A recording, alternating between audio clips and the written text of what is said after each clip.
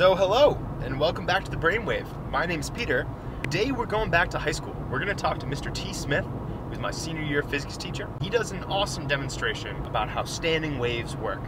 Uh, uses a speaker, a string, this oscillator controller, and of course, a strobe light. So let's go learn about some physics.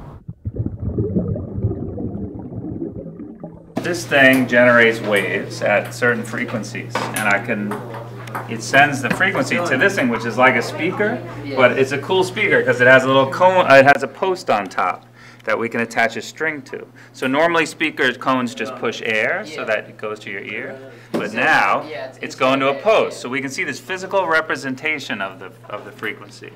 And there'll be a certain point where the wave, the string will respond. Look at that now.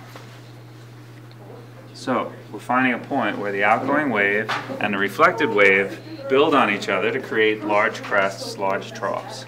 So that's a standing wave. This is the first order it's called. It's, this is actually half of a wavelength.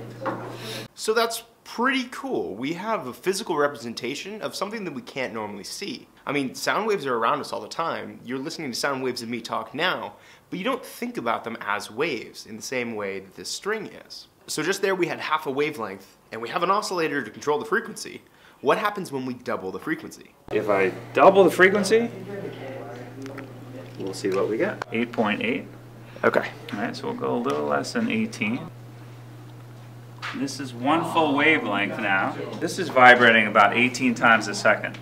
All right, let me go up to uh, create one and a half wavelengths. One and a half wavelengths. And that's 27.4 times a second that that's vibrating. Imagine a wave pulse moving along a string. And it's approaching a second wave pulse.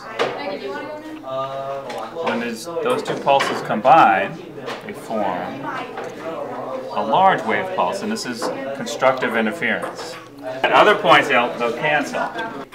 And if they cancel, it will result in a flat spot on the wave. You can imagine that happening right here at the node. Perfect destructive interference. I can send a wave pulse through this. And it goes back and forth on the spring. And here's a chaotic frequency. It's not the line that they're not lined up. Mm-hmm. There's, there's no constructive interference. But if I find the right frequency, there we go. Now the outgoing waves are lining up with the reflected waves to make a standing wave. You're sitting there saying, Peter, you promised me strobe light action. Let's see what happens when we turn off the lights and add another variable. Dial in the frequency. Oh! And there we go. you can even see it go slow on the edge. Oh, that's so cool. Wait, so what?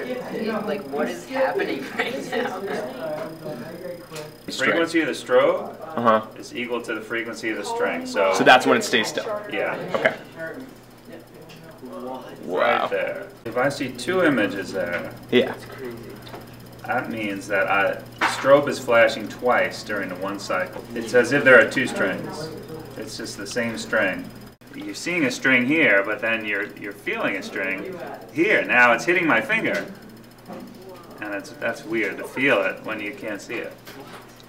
It looks like you can kind of sneak your finger right in there, right? But ah, it doesn't work. It, you can never do it. It's physics, baby.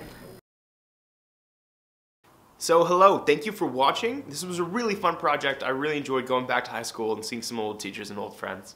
If you like these videos, please let me know because I enjoy making them, but it's also nice to hear that you guys like watching them.